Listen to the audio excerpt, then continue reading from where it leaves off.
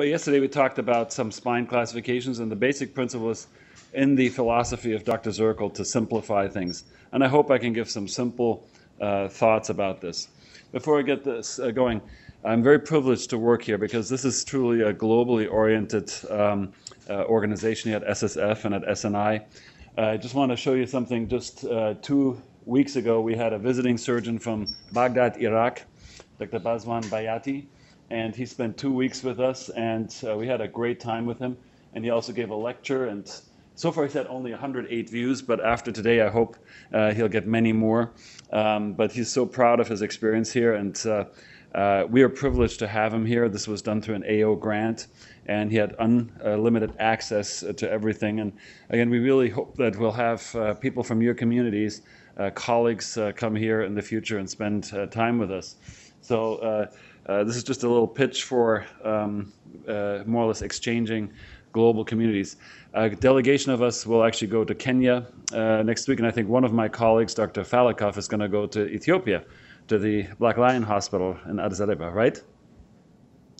So, simplified approach in the spirit of Dr. Zirkle. And in terms of spine trauma care, again, we are acutely connected uh, to two elements it's patient survival and spinal cord injuries. And uh, I've shown this slide yesterday. This is actually artwork in Seattle. Uh, the outcomes of a broken spine are deformity, pain, spinal cord injury, and death.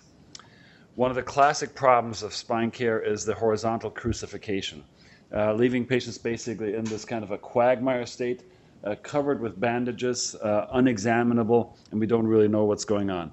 All of us know that the best position for a patient who's had polytrauma is as soon as possible getting them into the upright. The other principle from yesterday is trying to understand the spinal column. I've made a pitch yesterday that a lateral C-spine X-ray is and remains the single most efficient X-ray uh, to make sure that there's no trauma, 90 to 95 percent. Uh, this is a case that was missed at Harborview, and again, sometimes we do need AP X-rays. What really matters is our examination skills.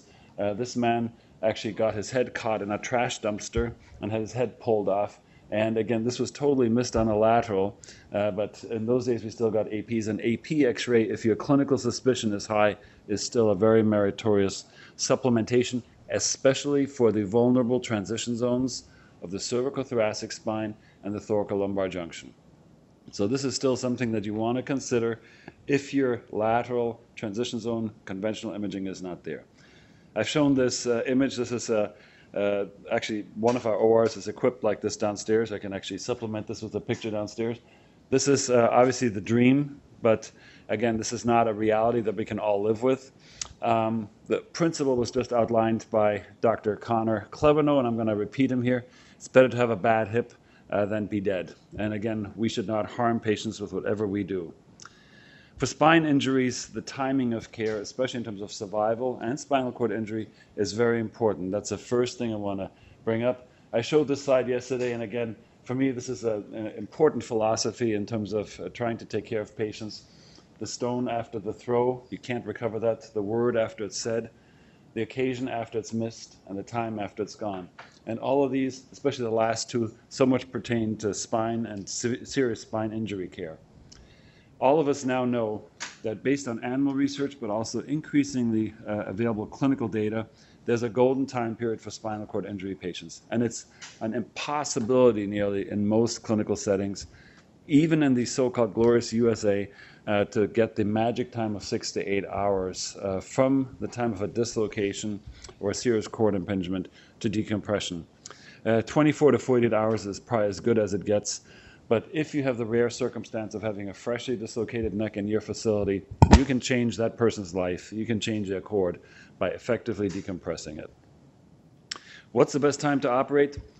Every single thing that we have done, I've published some of those with some great colleagues from around the world. Everything that we know is an early surgery is better than a late surgery. And I'm going to show you some of the data slides on that. Um, the classic fear was that we incur greater bleeding in the beginning and that we operate into a patient with unclear neurologic status. And all of us dread something. This is actually from a case of mine in the past. Uh, this kind of a picture where we're accumulating expensive um, blood uh, preservation and substitution uh, resources on a patient in an early surgery. If we wait too long, this is the picture of a famous football player in America who had an acute spinal cord injury. And basically, he was uh, actually had the fortune in his misfortune of being in a major urban center. Uh, he clearly needed an emergent surgery for his thoracic spine. His agent um, had him flown to Florida, uh, and uh, this two day delay basically killed him. He had a, a PE uh, one day after his surgery. Uh, he should have had surgery in that uh, particular city with a very competent surgeon there who should have reduced his spine, but he had no chance, despite him trying to do so, because his agent said, Oh, I'm going to fly you to Miami, Florida with a private jet. So bad things happen if we wait. When should we intervene? Well, again, we have our own um, uh, restrictions, but basically, most surgeons uh, nowadays try to operate as fast as possible, especially for incomplete patients. The verdict is not clear on complete patients. Most of us concede that in centers uh, where we're having to deal with competing trauma interests, such as abdominal injuries or head injuries, it's not realistic to get into the operating room within about a day. It's a, it's a reality that's very sad and very difficult for us, despite the life changing events of spinal cord injuries. Here we're in a blessed state in a hospital which allows us to literally go at moment's notice, but I realize that's not common. But we have other things available, for instance, for the cervical spine. This is a real life story. It's a 39 year old patient. He was in ASIA A. He had a dislocation, as you now know from yesterday, a bilateral facet dislocation. He had a complete spinal cord injury, ASIA A, motor score six. And again, we basically did not get an MRI, we did not get a CT. We reduced him uh, within three hours of his injury. And it's just one of those classic stories. We got an MRI. We plated him anteriorly. He literally walked out of the hospital uh, four days later. And this is something that we can do. And this is, again, once you've seen this, you become very convinced how important it is to be swift and fast. Uh, early reduction, we've published on this. Uh, several people have published on this. You don't need a C arm, but you need a traction setup with a neck inflection uh, to make this happen. And you need to have a simple protocol to do this. Again, there are several publications that have shown this. One was from Harborview. And this is the miracle device number one. These are Gardner Wells tongs. We prefer those over Crutchfield tongs. Um, they cost about $200. Uh, they have a little pop release, and um, uh, this is again uh, a very helpful device. The safe spot of application is behind the temporal artery and behind the temporal fossa. So to teach this to my residents and fellows, I basically put my hands onto the temporal fossa and anything above the external auditory meatus, below the horizon line of the head, um, is irrelevant uh, and is helpful. You don't want to be above the uh, uh, equator of the head. Just for completeness sake, if you have halo rings, the magic spots are behind again the external auditory meatus and on the lateral third of the eyebrow. So you want to avoid the frontal sinus, you want to avoid the supraorbital nerve. So again, anything in the lateral third of the eyebrow in front of the temporal fossa is good. Again, for teaching purposes, the best thing to do is put your fingers onto the temporal fossa, put your thumbs on the mastoid, and anything in between there below the horizon line goes and is okay for pins. And if you need six pins or eight pins, that's okay. So the do's of retraction, the sooner the better. You don't want to have patients in muscle spasms from pain. Ideally, you have an awake, responsive patient. You ideally don't do this on a patient who's asleep. You want to make sure they get oxygen because the spinal cord needs oxygen. You want to have the blood pressure, ideally with a MAP, a median um, arterial pressure of above 80. You want to have muscle relaxants. If you have pulse oximetry, it's nice to monitor the oxygenation. You want to make sure you don't have a skull fracture. You want to make sure you don't have distractive injuries. You want to put the neck into a flexed position, so not straight like what this image erroneously shows. You want to have a lateral x-ray. You want to have the shoulders in pull down or put straps around the wrist so you can do a pull down. You start with zero traction, get an x-ray, hang it up. You then go in 10 pound intervals, bit by bit until you disengage the neck you re-examine the patient. Probably 50 to 80 pounds is the maximum. If you can't reduce them by then, you have already done a great deal because you've disengaged the spinal canal and taken away the kinking part. So this is a really big deal. Even if you have no perfect reduction, you've decompressed the spinal cord. And this is again what you want to see. You disengage the neck and you then snap it over the end. No manipulation. So this is a safe and effective and again if you have MRIs, if you have CTs, if the patient is neurologically intact, or if the patient is unconscious, you can get these studies first, but you don't want to delay a reduction of a spinal cord injury patient. Things to look for again, you don't want to have a skull fracture over parietal bones. So this is a case and example. This comes from Harborview, where I used to practice for 25 years, and this is a depressed skull fracture. Now, not every skull fracture is a contraindication, but skull fractures in this lateral side of the skull are a no-go zone. If you have some split somewhere here and you can identify that, that's not a contraindication. But these are a problem. And the other thing is if you identify a distractive injury, that's where there's a vertical disengagement of the spine, that is obviously also a contraindication. And if you don't do that, this is again a case from my past, uh, you'll see this and you don't want to have this. This patient actually died because there was bilateral vertebral artery dissections. So if you see a distractive injury, no traction. And these patients are a surgical emergency. As I said yesterday, we have more and more patients with ankylosing spondylitis. That's the third contraindication. So this is a frozen spine. It's also known as Forestier's disease. If you put traction on this patient, you have to be ultra careful. In this patient, the well-intended traction led to a kinking of the spinal cord. The patient was paralyzed. So in ankylosing spondylitis, if you identify that and have that, the patients usually need to be a little bit in flexion, and traction is more or less a exclamation mark, a warning sign that you have to watch the spine and be careful. So one of the big fears of uh, uh, traction has been that we dislodge a disc into the spinal canal or an epidural hematoma or bone fragments. And again, this is a very rare thing. Some surgeons said it's common, but if you actually apply this traction protocol, it's almost unheard of. And again, you just don't manipulate patients. You don't do chiropractics on a dislocated neck. You do everything with axial traction and gentle compression. So these are the main papers that support this. And I think all things considered, if you have a spinal cord injury, if I'm a spinal cord injury patient in your center, I want an urgent reduction done period. I don't want to wait. One thing that has been suggested is to do an anterior decompression uh, of a dislocated neck.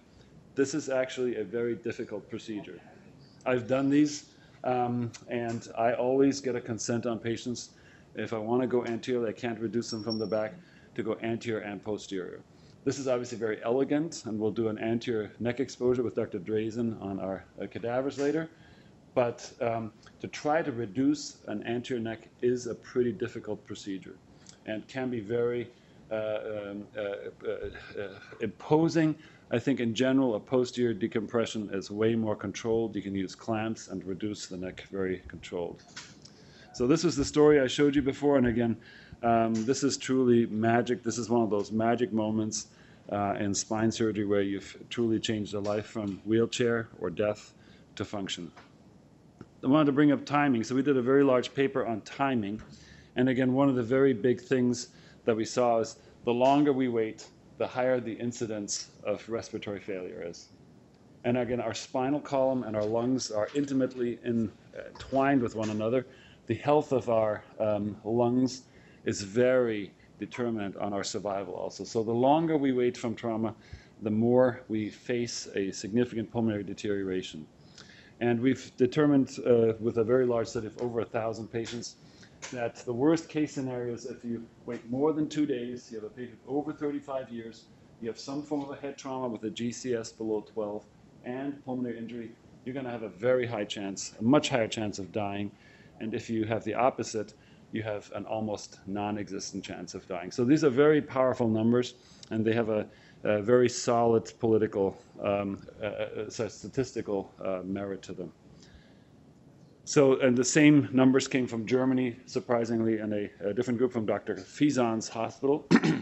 so, the longer you wait, uh, the more of a problem you have. Um, in terms of larger papers, early versus late, early being within 48 hours, again, the preponderance of literature nowadays really supports the concept of trying to do thoracolumbar trauma surgery within two days. Um, so this is again a classic example. This is a burst fracture, and uh, we basically went in posteriorly first, and then uh, we put it in a small short screw into the burst segment, which was a newer development, and we can practice that in the lab. So just a little 30 uh, millimeter screw and this will biomechanically make you much stronger. And we then simply waited until this very sick patient became better, and we then did an anterior cage procedure later. You can use an iliac crest bone graft, or if you have organ donor bone, there are many other options to do, but you don't have to rush into an anterior surgery in these burst fractures very rapidly. The main thing you want to avoid if you do spine trauma surgeries, do your best to avoid a secondary hypotension because that disproportionately damages nerve tissue. You don't want to have your anesthesiologist over infuse the patients. I talked about the Parkland burn formula yesterday. And you want to be efficient. All of you are spectacular surgeons. I could see that yesterday in every report that I got from the labs. You're very special and especially talented surgeons. You want to be in a two to three hour time window to do your trauma surgery. And don't do anterior acute thoracolumbar surgery. It's just not a very safe surgery. So some treatment principles of thoracolumbar fractures, and again, our European colleagues from Germany and from England kind of set the stage for this. And again, we can be way more probably um, useful of braces. The recent data on neurologically intact patients who have an intact PLC and are not dislocated really supports that we can probably use far more non-operative care. It's very rare for patients to have a secondary neurologic decline. And again, my suggestion is that if you have any doubts, you can use the upright test. Put them into a brace, see how a patient does. If they can tolerate it over a day or two, that's great. If they cannot tolerate the upright position but they're comfortable with comment, rethink your approach. And again, a secondary neurologic deterioration is actually very rare. So don't operate on all fractures. I'm embarrassed to say that in my home country of Germany now, doing surgery for fractures uh, in the thoracolumbar spine has become second nature. Every fracture just about gets some surgery, and it's, it's sadly a perversion of AO as always operate, which is not necessary and not supported by the literature. So no spinal cord injury, bony injuries, or injuries below L3, you can usually really treat non-operatively. Now let me tell you, I love casts. I, I don't know uh, whether it's applicable in your countries. Frequently the uh, temperature will not be, um, uh, the tropical climates will not be commensurate to that. But I still think one of the most powerful things for patients who are neurologically intact is a hyperextension cast. This is something that a colleague of mine sent me from uh, Bhutan. Uh, I've put plenty of casts on patients and I still put hyperextension casts on patients. This works for neurologically intact patients who you need to keep inclined and it's actually a very uh, powerful thing. Now we don't use the two bed theory, but we have a table for that, but it still works. So in terms of thoracolumbar trauma, how to do this and what to do, um, basically, my personal preferences nowadays lie between treating them non-operatively if they're neurologically intact, or doing this or this. On an acute basis, I recommend against anterior options, and if at all, for devastating injuries, a combined staged, meaning posterior first and then anterior procedure, is a very applicable route by putting short screws into the burst segments. Practical tips. So dislocations, basically for dislocations, this is an excessive use of screws, but I think that two above, two below gives you a very powerful reduction tool and works very well. Uh, if you have an ill patient, and again, you really have a devastating injury, um, staging is a very powerful thing. Um, I would suggest doing a short segment and um, one above, one below fixation, two rods, crosslinks, do a decompression. We'll practice that in the lab today how to do an efficient posterior and then ventral disimpaction. And then wait. You can sit the patient up. This is not going to heal. This is going to break apart.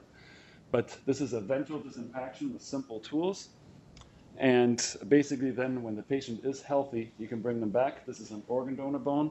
Uh, this is a very, for our country, a very inexpensive uh, device. But you have about two weeks time to do this anterior part of the procedure in a very controlled fashion. What you want to avoid is, and again, Anthony was superb in picking up the flexion distraction injury yesterday. You don't want to miss flexion distraction injuries. These are the simplest things to fix, one above, one below. You'll make a life happy, and you'll avoid this with a painful uh, kyphosis that's fixed that you then have to, at a later date, do a very complex uh, reconstructive surgery.